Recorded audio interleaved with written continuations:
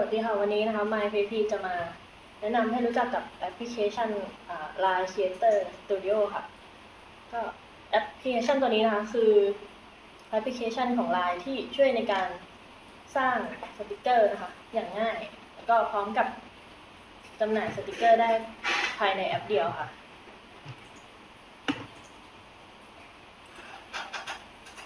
โดย ในแอปนี้นะคะ ก็จะมีวิธีให้เลือกสร้างสติกเกอร์ได้สามวิธีก็คือ วิธีแรกก็จะเป็นเลือกแคนวาสนะคะ แล้วก็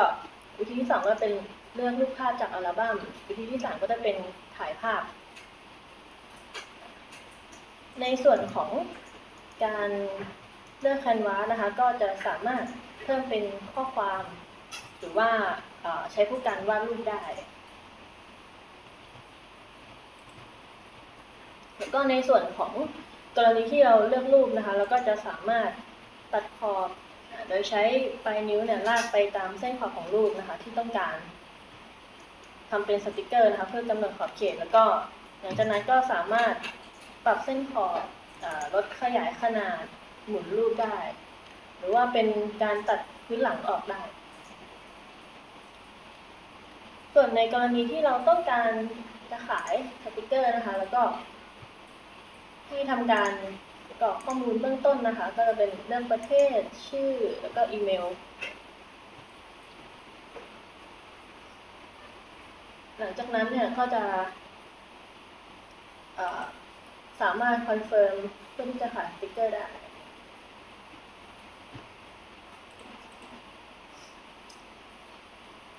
ส่วน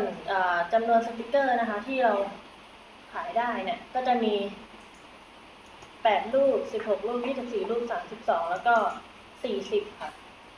ราคากำหนดเนี่ยก็จะอยู่ที่เอ่อ30บาทไปจนถึง150บาท อันนี้ก็แล้วแต่เราจะตั้งนะคะ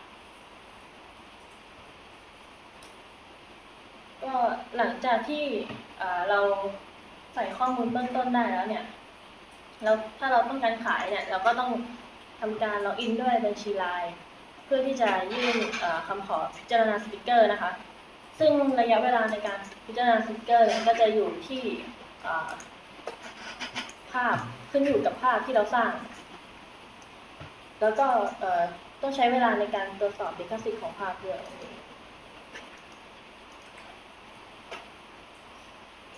หลังจากพิจารณาเรียบร้อยนะคะ แล้วก็สามารถที่จะ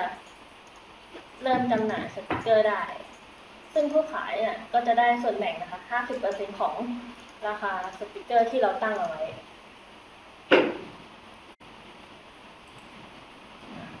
ในส่วนข้อสงสัยนะคะที่หลาย ๆ คนอาจจะสงสัยกันนั่นก็คือ เราสามารถที่จะสร้างสติกเกอร์นะคะ แล้วก็ซื้อทำการโดยที่ไม่ต้องทำการซื้อขายได้หรือเปล่า ก็ในกรณีนี้ก็ไม่สามารถทำได้นะคะ ถ้าเราต้องการที่จะนำสติกเกอร์ที่เราสร้างขึ้นเนี่ยมาใช้ใน แอปพลิเคชัน Line เนี่ยเราต้องทำการตั้งขายเอาไว้ก่อน แต่ว่าถ้าเราไม่อยากที่จะให้คนอื่นซื้อได้ด้วย เราต้องการใช้แค่คนเดียวนะคะ ก็สามารถ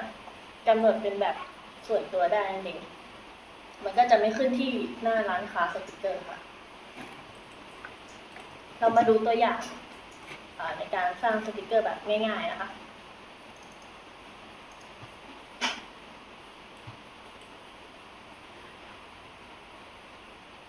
ก็ เริ่มแรกนะคะ แล้วก็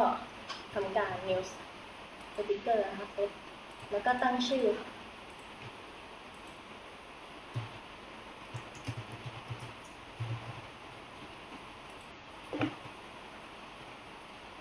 จากนั้นก็กดเพิ่ม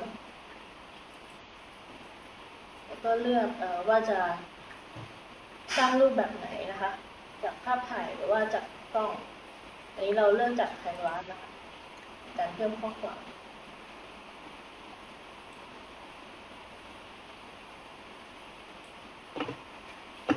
ก็ในตัวนี้ก็จะมีให้เราสามารถเพิ่มข้อความลงไปได้ค่ะ หรือว่าจะเป็นใช้คู่กัน ก็จะมีกำหนดขนาดสี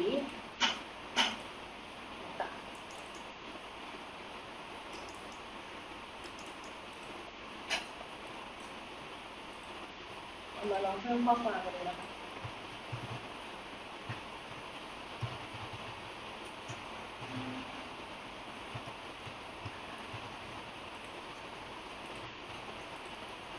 เราจะสามารถหมุนได้แบบง่ายๆสามารถปรับเปลี่ยนสีได้ตามต้องการ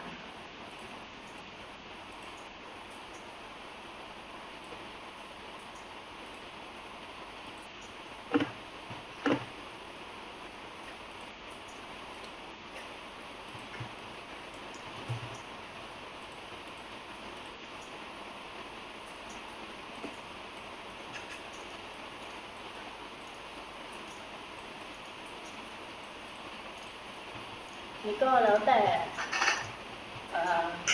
ความคิดสร้างสรรค์ของเรานะคะ ว่าเราต้องการทำแบบไหนก็จะมีฟอนต์ต่างๆ ให้เราเลือกนะคะ ส่วนใหญ่ก็จะรองรับเป็นภาษาอังกฤษยังไม่รองรับฟอนต์ภาษาไทยนะคะ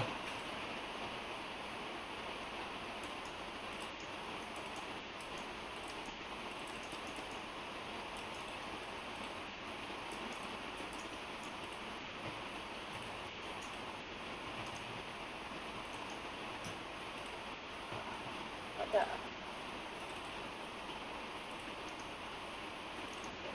ประมาณนี้นะคะก็เซฟ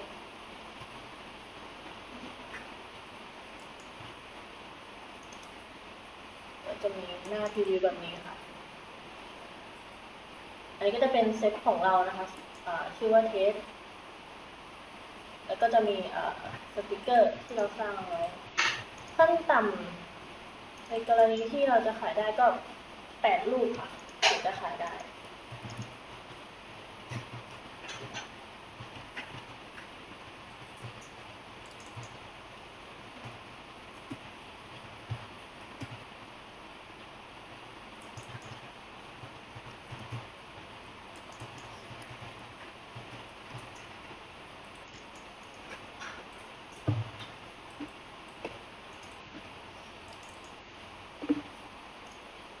ก็วิธี